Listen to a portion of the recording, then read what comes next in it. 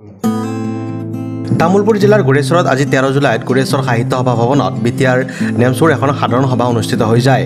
তামোলপুৰ জিলা সমিতি গঠনৰ অৰ্থে আয়োজিত সভাত নেমচুৰ কেন্দ্ৰীয় সমিতিৰ কেইবাজনো বিষয়ববীয়াৰ উপস্থিতিত হিজৰুল ইছলামক সভাপতি আৰু জেহেৰুল ইছলামক সাধাৰণ সম্পাদক হিচাপে লৈ একত্ৰিছজনীয়া শক্তিশালী তামোলপুৰ জিলা সমিতি গঠন কৰা হয়।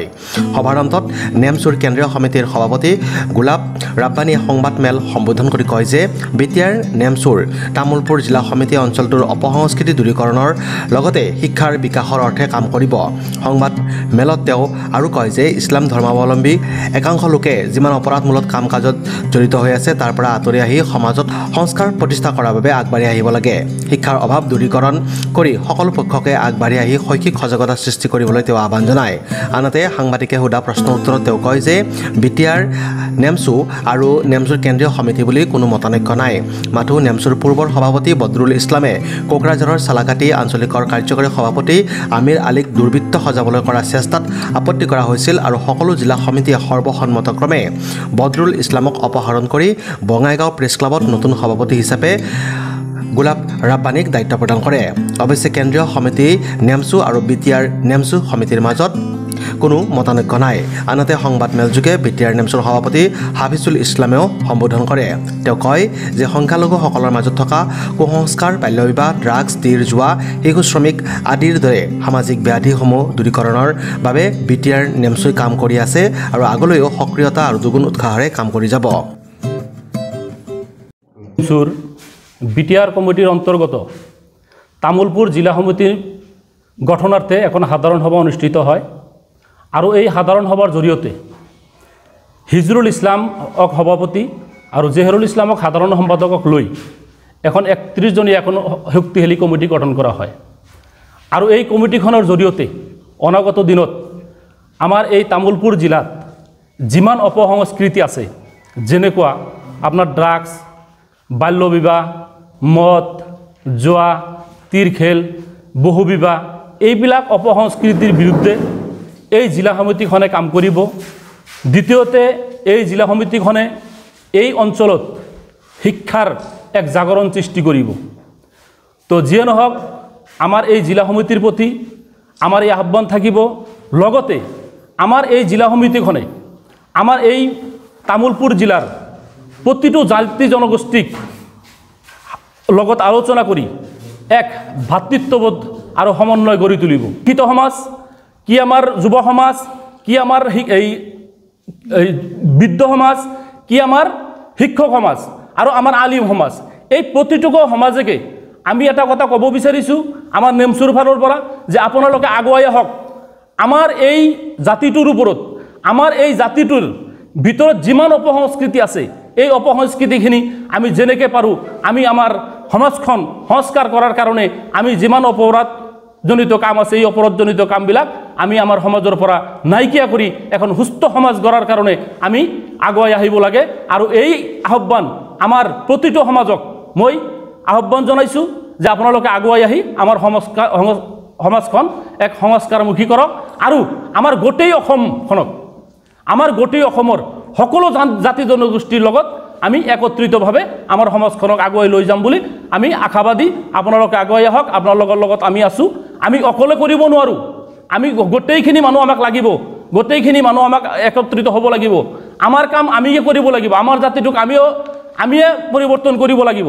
গতিকে আমাৰ মাজত যিহেতু বহুতো বেদী আছে এই বেদীখিনি আমি দূৰ কৰিব লাগিব।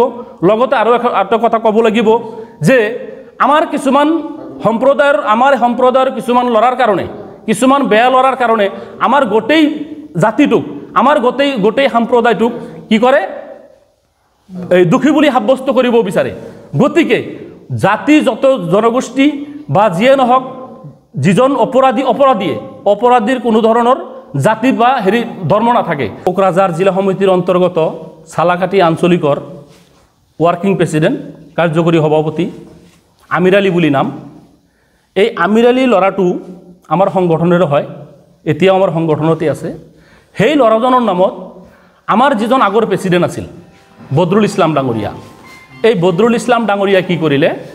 সেই ল'ৰাজনে এতিয়া ধৰক সংসাৰ এখনত থাকিলে হাইকাজিয়া হোৱাটো স্বাভাৱিক কিবা এটা হোৱাটো স্বাভাৱিক। কিন্তু সেই বুলি আমাৰ ল'ৰাজনক দুৰ্বৃত্ত সজাই অচিনাক্ত দুৰ্বৃত্ত সজাই কিছুমান আকৌ বি পি এফৰ সদস্য বুলি কৈছে। কৈ কেনে কি কৰিলে? সেই ল'ৰাজনৰ নামত গোটেই অসম জুৰি থানাই থানাই থানাই থানাই এই ল'ৰাজনৰ বিৰুদ্ধে কেছ কৰিলে। ল'ৰাজনে সৰু এটা কথাহে কৈছিল। তে যিয়ে নহওক তাৰে পৰা আমি কি কৰিলোঁ গোটেই অসম জুৰি গোটেই নৰ্থটোৰ জুৰি আমাৰ যিমান জিলা সমিতিবিলাক আছে এই জিলা সমিতিবিলাকৰ লগত আমি আলোচনা কৰি গৰিষ্ঠ সংখ্যক জিলা সমিতিয়ে গৰিষ্ঠ সংখ্যক জিলা সমিতিয়ে আমি বঙাইগাঁৱত প্ৰেছ ক্লাবত আমি এখন সংবাদমেলৰ জৰিয়তে আমি এখন সাধাৰণ সভাৰ জৰিয়তে আমি কি কৰিলোঁ আমি তেখেতক অপসাৰণ কৰি সৰ্বসন্মতিক্ৰমে তেখেতক অপসাৰণ কৰি আমি নতুনকৈ এখন কেন্দ্ৰীয় সমিতি গঠন কৰিলোঁ। আৰু সেই কমিটিৰ আজি মই সভাপতি। আমাৰ সাধাৰণ সম্পাদক এছিষ্টেণ্ট সাধাৰণ সম্পাদক আৰু হয়তো পদবীখিনি আছে। তো নহওক আমাৰ মাজত কোনো মতানৈক্য নাই তেওঁক অপসাৰিত কৰা হৈছে। এতিয়া তেওঁ যদি আমাক কিবা কিবি কৈ আছে সেইটো বেলেগ কথা। সেই কাউণ্টাৰ মই দিব নাযাওঁ সেইটো তেওঁৰ কথা তেওঁ কৈ থাকিব। অবৈধ বুলি আমাক কৈ আছে কিন্তু অবৈধ তেওঁ নিজেই।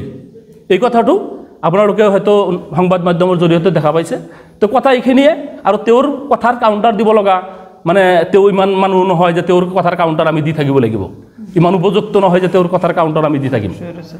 তে গতিকে আৰু এটা কথা মই কওঁ যে বিগত দিনত এতিয়া নিৰ্বাচন কেন্দ্ৰিকে কওক বা যিয়ে নকওক তেওঁ যিমান তেওঁৰ স্বৈৰাচাৰিতা হিটলাৰী শাসন যিটো বুলি আমি কওঁ তেনেকুৱা শাসন আমাৰ এই নেমচুত তেওঁ চলাইছিল গতিকে আমাৰ প্ৰতিখন জিলা সমিতিৰ সভাপতি সম্পাদকে আদি কৰি বিভিন্ন পৰ্যায়ৰ সদস্যসকলে তেওঁৰ প্ৰতি অতিষ্ঠ হৈ আমি সৰ্বসন্মতিক্ৰমে তেওঁক অপসাৰিত কৰি আমি নতুনকৈ কমিটিখন গঠন কৰিছোঁ।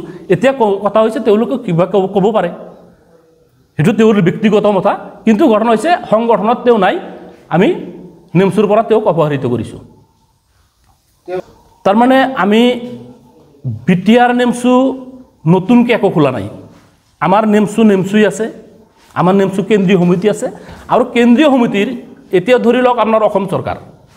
বি টি চিতো এখন চৰকাৰ আছে। বি টি চিতো সুকীয়া এখন চৰকাৰ আছে কিন্তু। কিন্তু সেই চৰকাৰখনো কিন্তু আমাৰ চেণ্ট্ৰেল হওক বা ষ্টেটৰে তলতীয়া হয়। গতিকে আমাৰ যিখন বি টি আৰ চৰকাৰ বি টি আৰ যিখন আমাৰ কমিটি এই কমিটি কিন্তু আমাৰ নেমচুৰ কমিটিৰে অন্তৰ্গত এখন কমিটি। তো গতিকে আমি ইয়াত কোনো বিভাজন দেখা নাই। আমি ইয়াত হয়তো কিছুমানে মানে ভাবিব পাৰে তেওঁলোকে কিছুমানে কথা কৈ আছে। এতিয়া ক্ষমতাচ্যুত হ'লেতো বহুতে বহুত কিবা কিবি কয়। সেই কথাখিনি আপোনালোকে জানে। তো গতিকে মই ইমান দিনে মুখ খোলা নাছিলোঁ। তো মই আজি আপোনালোকক কথাখিনি ক'লোঁ। হয়তো আপোনালোকে ইয়াৰ পিছত হয়তো আপোনালোকে আমাক হেৰি কৰিব যে নাই এইটো কথাখিনি তেওঁলোকে যিখিনি কৈছিল সেইখিনি সত্য নহয়। আমাৰ কথাখিনি সত্য আৰু আপোনালোকে হয়তো তদন্ত কৰিলেও পাই যাব। ধন্যবাদ জনাইছোঁ। আজি আমি উত্তৰ পূৰ্বাঞ্চল সংখ্যালঘু ছাত্ৰ সন্থা আ, নেমচু বি টি আৰ আ, আমাৰ কমিটিৰ অন্তৰ্গত। তামোলপুৰ জিলা সমিতিখন অৰ্থে এখন সাধাৰণ সভা আমি গোৰেশ্বৰ সাহিত্য সভা মানে সাহিত্য সভা ভৱনত আয়োজন কৰিছিলোঁ। আৰু লগতে আমি আমাৰ কেন্দ্ৰীয় কমিটিৰ সভাপতি গোলাপ ৰাব্বানী ডাঙৰীয়া কেন্দ্ৰীয় কমিটিৰ সাধাৰণ সম্পাদক বাহৰুল ইছলাম ডাঙৰীয়া কেন্দ্ৰীয় কমিটিৰ সহকাৰী সাধাৰণ সম্পাদক এৰছাদ আলী ডাঙৰীয়া তেখেতসকলৰ উপস্থিতিত এখন একত্ৰিছজনীয়া শক্তিশালী কমিটি গঠন কৰি দিয়া হৈছে। সভাপতি হিচাপে হিজৰুল ইছলাম ডাঙৰীয়াক আৰু সাধাৰণ সম্পাদক হিচাপে জহিৰুল ইছলাম ডাঙৰীয়াক লৈ পেলাই এখন একত্ৰিছজনীয়া কমিটি গঠন কৰি দিয়া হৈছে। কমিটি তেখেতসকলক আমি বি টি আৰ নেমচুৰ পৰা শুভেচ্ছা আৰু অভিনন্দন জ্ঞাপন কৰিছোঁ। লগতে আমি ক'ব বিচাৰিছোঁ আপোনালোকে জানে সংবাদ মাধ্যমত বিভিন্ন সময়ত প্ৰচাৰ হৈছে। আচলতে আমাৰ যিবিলাক সমস্যা আমাৰ যি জাতিটো এই জাতিটো সংখ্যালঘু জাতিটো বিভিন্ন সময়ত কি ড্ৰাগছ কি মদ কি জুৱা তীৰৰ পৰা আৰম্ভ কৰি যিবিলাক বাল্য বিবাহ শিশু শ্ৰমদান সামাজিক ব্যাধি এই ব্যাধিবিলাকৰ ওপৰত কিন্তু আমি নেমচু বিটিয়ান নেমচুৱে বিভিন্ন সময়ত আমি কাম কৰি আছোঁ। আৰু ধাৰাবাহিকভাৱে আপোনালোকে জানে আমি সজাগতা সভা কৰিছোঁ আমি ড্ৰাগছৰ লগত জড়িত ব্যক্তিক কিন্তু প্ৰশাসনৰ জৰিয়তে আমি কেতিয়াবা গতিয়াই মানে গতাই দিবলৈও বাধ্য হৈছোঁ। যা নহওক আজি আমাৰ যিখন সভা এই সভাখন আচলতে আজি আমি বিশেষ বুলি এইটো কাৰণতে কৈছোঁ সদৌ বি টি চি সংখ্যালঘু ছাত্ৰ সন্থা A B M C A B M C Goreswar আঞ্চলিক কমিটিৰ উপ সভাপতি মুজিব আলী ডাঙৰীয়া আমাৰ আহ, নেমচুত বিটিয়ান নেমচুত যোগদান কৰিছে আৰু লগতে আমাৰ পূবদেফেলি আঞ্চলিকৰ অন্যতম বিষয়ববীয়া এজন আমাৰ মাজত উপস্থিত হৈছে তেখেতেও আমাৰ সংগঠনত জইন কৰিছে। তেখেতসকলক আমি ধন্যবাদ জনাইছোঁ। দুগুণ উৎসাহেৰে আমি আমাৰ জাতিটোৰ লগতে বিভিন্ন জাতি জনগোষ্ঠীক লগত লৈ পেলাই কি ধৰণে আমি আগুৱাই যাব পাৰোঁ নিজৰ অঞ্চলটোৰ লগতে সমগ্ৰ উত্তৰ পূৰ্বাঞ্চলক আমি শিক্ষাৰ জৰিয়তে বিশ্বৰ দৰবাৰত কি ধৰণে আমি প্ৰতিষ্ঠা কৰিব পাৰোঁ সেইবিলাক লক্ষ্য সেইবিলাক উদ্দেশ্য লৈ পেলাই আমি অনাগত দিনত আমি কাম কৰিম বুলি ৰাইজৰ প্ৰতি আমি দায়িত্ব দায়বদ্ধতাৰে আমি প্ৰতিশ্ৰুতিবদ্ধ। Desk report news express Assam